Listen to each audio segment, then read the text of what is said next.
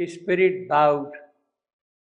His will obeyed the law. You see, although the spirit of death has now accepted the greatness of Savitri, but there is that will in him still present. And that will is not going to go away easily.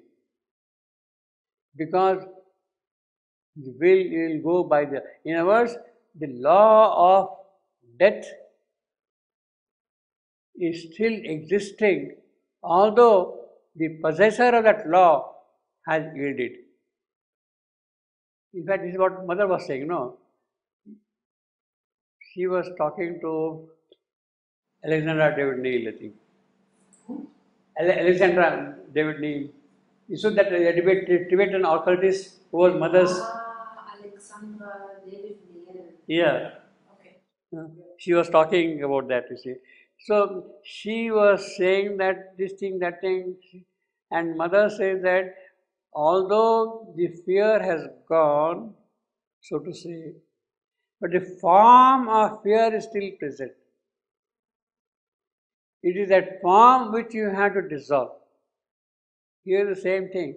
Although the spirit has bowed, but the form of that law which is there, that is still persistent. That has to get dissolved. That has to get dissolved, the form. So his will obeyed the law of its own nature, binding even on God. That law is binding. See, we are mental beings. Now, unless the form of mental being is dissolved, we cannot go out of the mental formulation. It has to go away, dissolved. The two oppose each other face to face. The two, death and Savitri, face to face. His being like a huge fort of darkness towered. Around her, around it, a life grew, and oceans, the seas. So she's surrounding him all around with the seas. Around it, a life grew, and oceans, seas. While, the shade survived defying heaven.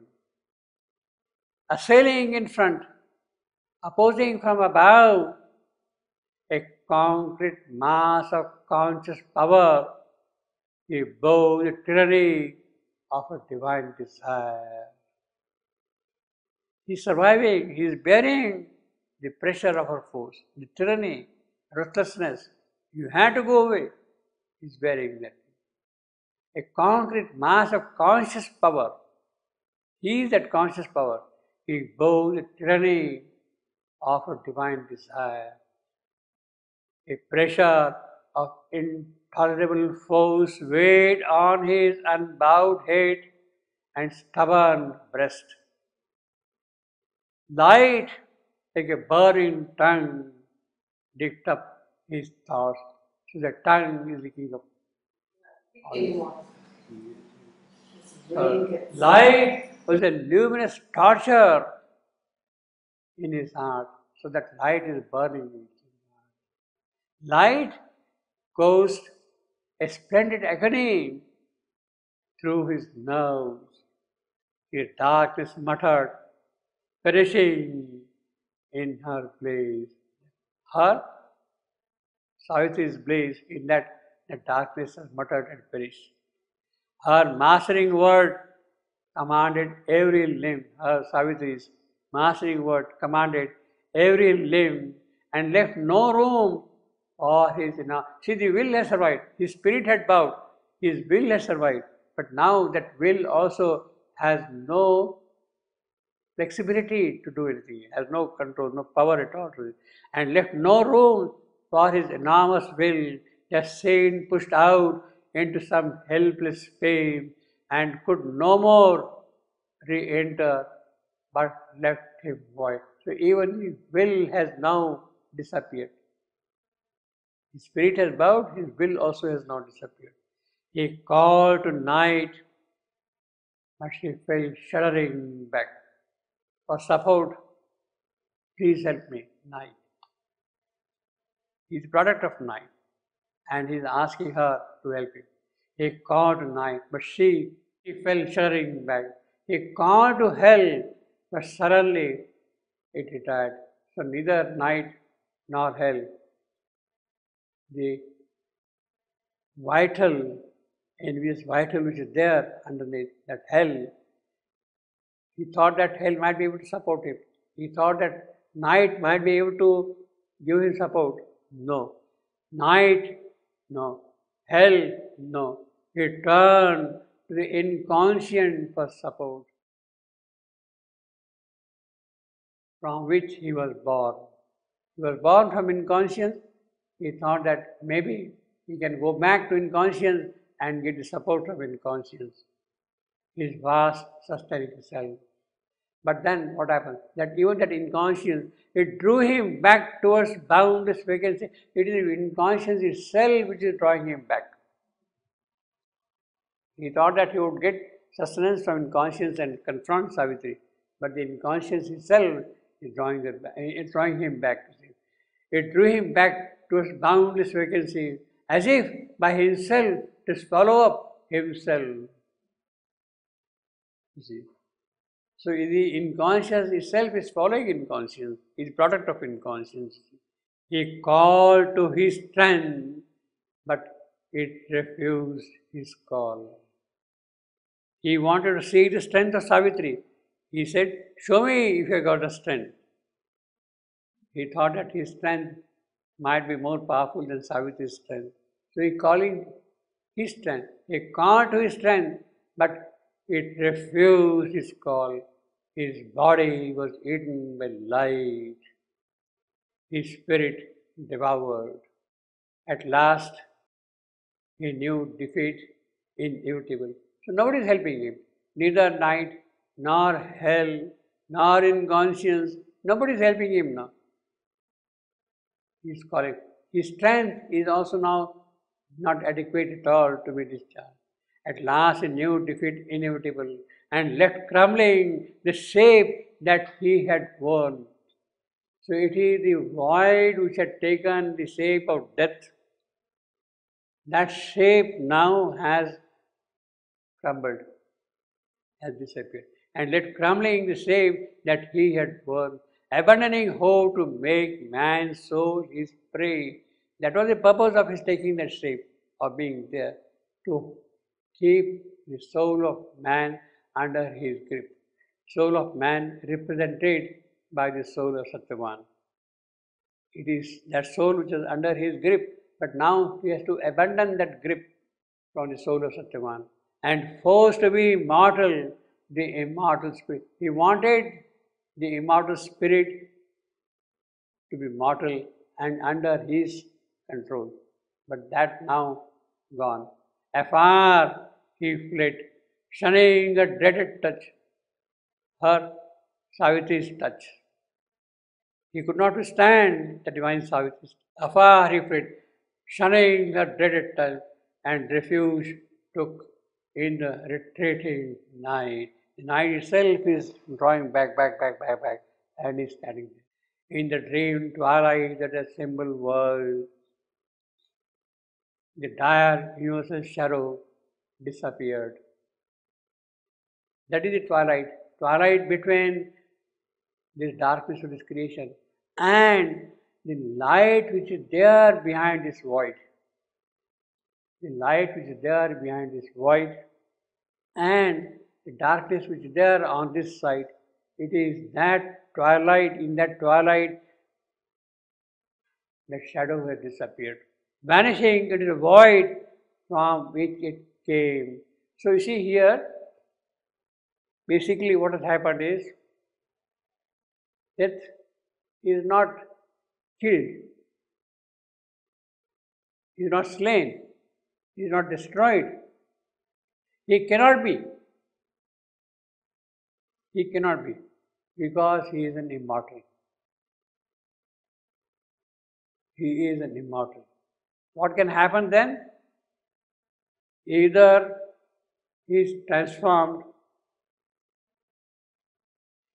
or he gets dissolved.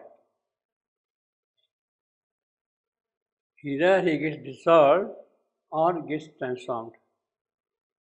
He cannot be killed, he cannot be slain, being immortal. So, what has Savitri done now is, has Savitri managed to dissolve death or transform death? It's his choice, no? Is it his choice or not? No, ah. Flying away. No, he has not destroyed. No, but uh, if death is transformed or dissolved, is that death's Yeah, dissolved means it totally goes out of creation. Yeah, but is that his own choice or not? He is not dissolved. He is, has no choice. He cannot be destroyed, he is not dissolved. Okay, but what is his own choice? So he is transformed. What is his choice? Does he want to get transformed? no, transformed means he reveals his true divine form. So he chooses He choose. It is Savitri now who has given him that. Now Savitri is choosing. Yeah. It is Savitri who has chosen. In other words, he had put on a certain form, shadow, universal shadow, he was there of the void created. It is that which had disappeared, and what is there in that place? Universal light. It is the true form of death now, which is what he has acquired. Savitri's victory is in that sense not to destroy, not to dissolve him, but to give him his true form, the divine form, vanishing into the void from which it came. And then, as if deprived of its original cause, the twilight realm passed feeding from their souls. The twilight realm of this darkness and that light which is there. That has disappeared from their soul. There stands for whom? Satyavan and Savitri. And Satyavan and Savitri were alone. But neither stirred. They cannot. Death has disappeared. Satyavan is standing there, Savitri is standing there. Static picture. But neither stirred. Between those figures rose a mute, invisible, and translucent wall. There is a wall between them now. Satya, Savitri is on this side, Satyavan is on that side, and there is a translucent. They can see perhaps through each other, through that wall. Invisible. That wall cannot be seen, but through that translucent wall, they can see each other. Where's the wall? What is that wall? Yes. That's the beauty of the whole poetry. We will see, perhaps we see, in the long blank moments pause, nothing could move. All waited on the unknown, inscrutable will. Satyavan is Satyavan there on this side of the wall. Savitri is there on this side of the wall. The wall is supporting them. They cannot move. What can happen is only they had to wait for the inscrutable will to speak out. It is the divine himself now who has to take the charge of them. They are still not free in that sense. They are bound by the inscrutable. Unless the inscrutable will say, yes, Satyavan and Savitri can join, or can go away or do this or do this. They cannot do anything. They are helplessly standing. Although their death has disappeared. That is why it is a translucent and invisible wall. That will is standing there. Basically, what it means is the darkness has disappeared. So, what is that wall? It is a wall of light itself. On the other side is now the transcendental realm. But nothing can happen without the will of the Supreme at that point of time. Savitri has cut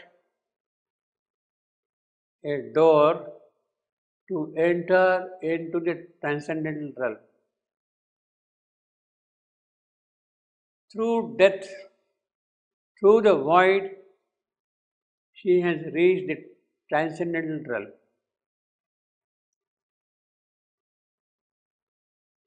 She has cut a door in the void. Well, that is the language. She has cut a door through the void to enter into the transcendental. Cutting a door through the void and reaching that realm of light is the unique achievement of Savitri. Unique in the entire spiritual history, in the spiritual annals. Savitri alone has done that through the night to the void, reaching the Supreme. All along, until now, what was happening was the rishis, the great sages, they had reached the transcendental by climbing up what is called, what the Upanishad says, the door of the sun, Suryasya Dwara. Through the door of the sun, they would go and reach the world of immortality. Go up there, climbing up one above the other like that, they would go up there. But none could do that thing by cutting a door to the void and reach that Suryasya world, the world of the solar light, the supermind. Savitri alone is the one who has cut a door through the void. So, what the Upanishadic Rishi did was they had accessed the transcendental by entering through the door of the sun, Surya. What Savitri has done is access the supermind by cutting a door through the void, what we might call Shunyasya Dwara, Shunya, void. Shunyasya Dwara. She has cut a door through the void and entered the transcendent. That is the unique victory Savitri has won. Absolutely.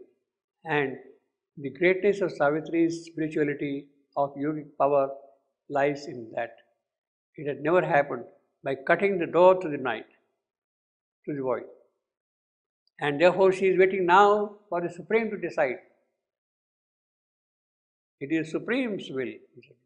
Supreme has to say, Savitri, yes, you can go and join your husband Satyavan. She is not yet free, he is not yet free.